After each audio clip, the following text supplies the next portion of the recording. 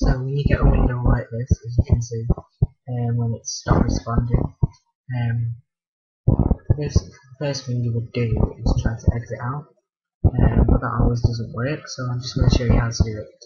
All you do is press Control Shift and Escape on your keyboard. So once you've done that, the Windows Task Manager comes up. It comes up with different options, applications to view all the applications you've got open, and processes, that's all the different processes doing to run the computer. Services is what running in the background. Uh, performance is just to look at the uh, performance of your computer and what's it running at. Um, networking is for your internet and seeing how that's doing, and users is to log out um, if you you can't log out any other way. And um, what we need to look at today is process, uh, processes.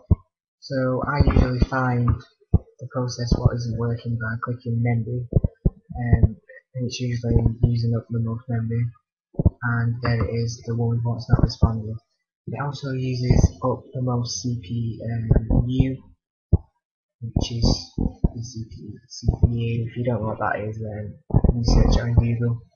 Um, so what you do then is just press end, end uh, progress and then ask you if you're sure and press end process and then it'll go away. That's the easiest way I get rid of um, programs in Windows which say they're not responding. Um, thank you for watching this video. This has been PC Windows Online and um, I'll see you in my next video.